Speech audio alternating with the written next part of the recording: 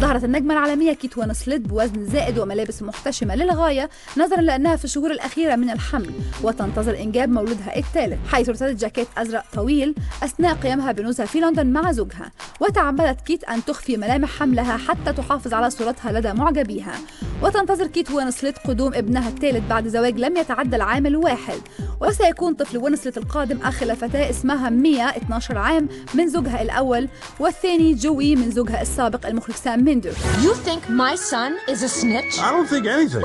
Well, if you don't think anything, don't say anything. I'm sick to death of it. We were nice to you.